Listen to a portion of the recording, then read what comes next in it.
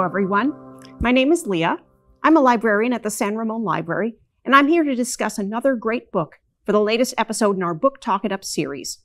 This is a series where we talk about books that you can check out from our libraries, or at ccc.overdrive.com, or on the Libby app.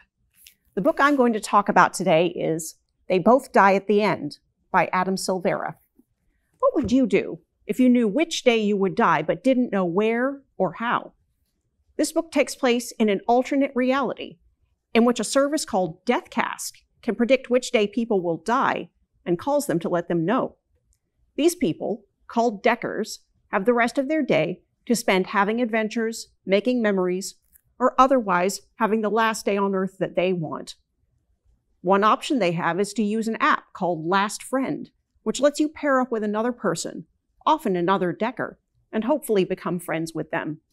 The two main characters in this book, Mateo and Rufus, are Deckers who pair up as last friends.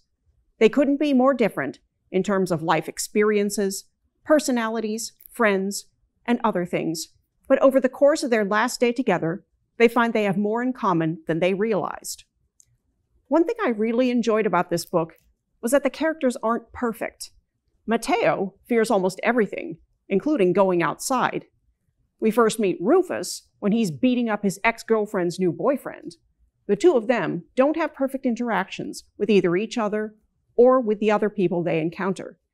Yet, what this book illustrates so beautifully is that we are all intertwined with the people we meet and encounter, however briefly, and that we should make the most of each moment, whether it's our last day or not.